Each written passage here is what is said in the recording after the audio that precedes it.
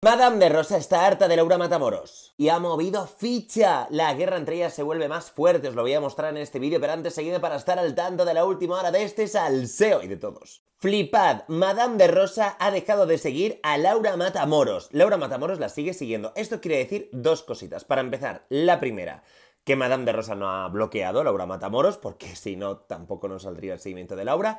Y dos, que Laura no está tan enfadada con Madame como Madame con Laura. ¿Qué es lo que pasó aquí para que mm, Madame de Rosa esté tan enfadada con Laura? Os pongo en situación. Durante Supervivientes, Laura Matamoros rajó de Madame de Rosa cuando se llevó el premio ídolo. De su discurso, Laura Matamoros dijo...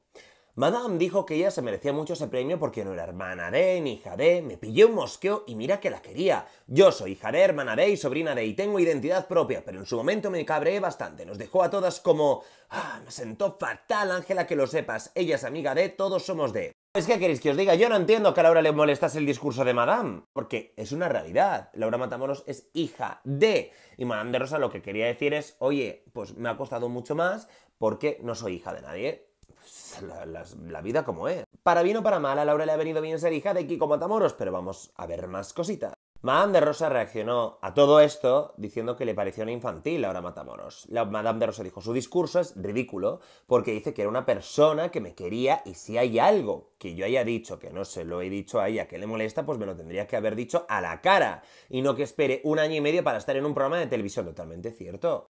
Tan amigas eran, y con lo directa que es Laura, que le hubiese dicho a Madame de Rosa lo que pensaba en ese momento, digo yo.